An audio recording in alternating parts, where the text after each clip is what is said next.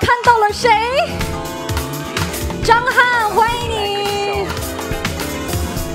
十二月六日，鱼塘堂主张翰出席某活动，看看这表情，这气势，感觉汉哥自己都被自己帅到了。可是万万没想到，就在隔天，主持人杜海涛也穿着同一套衣服出席某电影节的红毯。明星撞衫早就不是新鲜事儿了，网友也很爱拿这种事来对比明星的时尚品味。不过像这次杜海涛跟张翰的撞衫，网友却评价两人穿的都很 low。杜海涛就不用说了，臃肿的身材几乎没有衣服穿在他身上能好看，而这件大衣在他身上简直像个暴发户，毫无气质可言。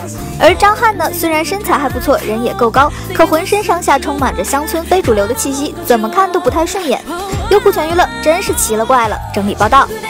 登录优酷，上传你的脑力挑战视频，就有机会成为优酷牛人，参加《最强大脑》第二季，和顶尖脑力奇才面对面。大脑你最牛，帮你上头条，火热招募中。